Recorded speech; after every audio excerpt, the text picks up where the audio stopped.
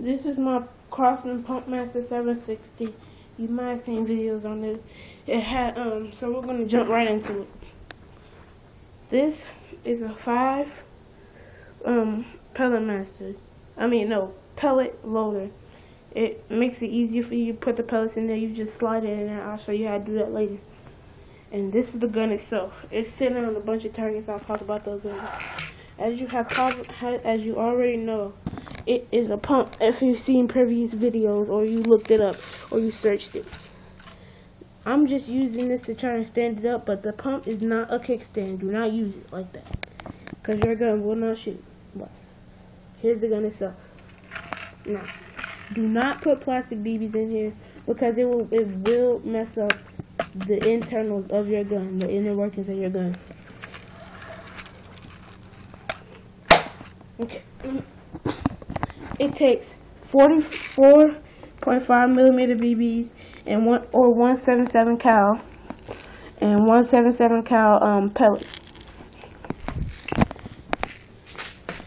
It does have it does have it does have the dovetail mount for a scope. My brother's gonna give me um, give me his scope since he doesn't use it. Um, we were actually shooting yesterday because I got this for Christmas. I was so happy. Um, anyway, this is the gun. I don't know if you can see it, but it has some BBs in there. I'm gonna take them out to show you how you do that.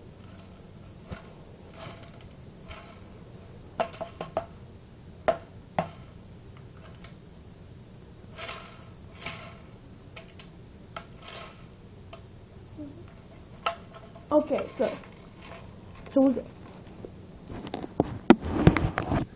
This is the um, rear adjustable iron sight. It's adjustable for elevation. This is the front sight. It um hold on. It it is not the true growth TruGlo fiber optic sight. This here is the bolt action. I, I, I wouldn't really call it a bolt, but I wouldn't call it bolt action. But since it, you pull it back and it's like bolt, they call it bolt action. Just pull, you pull this lever right here back. If you've seen previous videos, you will already know. But you pull this back, and it goes right here where the BBs will hold. And this is not the reservoir; it just hold the BB so you can get it. And you pull it all the way back until you grab the BB, push it forward, and you will pump. This is the BB reservoir right here on the side of your gun. As you see right now, I have BBs and copperheads, like I showed you. Copperheads. Copperheads. So, anyway. Put the BBs in there. Close it. Now, this switch. This is not safety or anything. You, well, it's a kind of a safety, but not really this right here, when you push it up, it's, it blocks the BBs from coming in. Push it up, it's blocked. Now it's unblocked, and you tip the gun up, and you shake it. I don't know if you can see them coming down, but don't put too many, because you won't be able to close it. So you push it back up, and now you have BBs in there.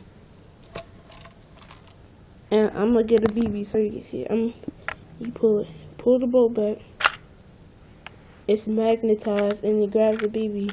But make sure you pull it all the way back. Hold on.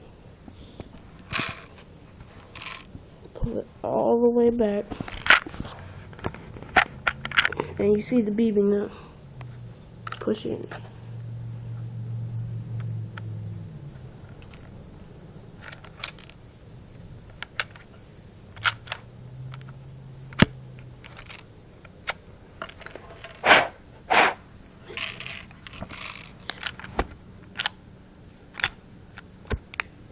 Alright, so um, I have some targets to show you.